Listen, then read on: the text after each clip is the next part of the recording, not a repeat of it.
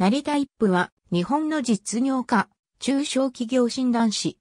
ワンゾーン代表取締役 CEO や、締めの薬局代表取締役、松本清代表取締役社長を経て、同社代表取締役会長兼、松本清ホールディングス取締役副社長を務めた。北海道出身。1974年北海道大学経済学部経営学科卒業。日本リクルートセンター入社。中小企業診断士資格を持ち、公文教育研究会在籍後、プラザグリエード常務取締役事業本部長を経て、2002年から民事再生手続き中だったワンゾーンの代表取締役 CEO を務め、同社再建に当たった。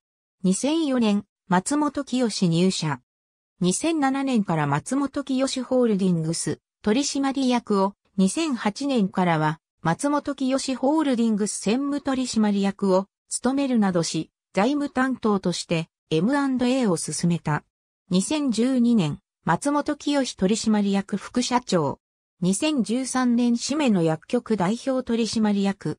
2014年から松本清代表取締役社長を務め、2017年に同社代表取締役会長及び松本清ホールディングス取締役副社長に就任し、2018年に退任した。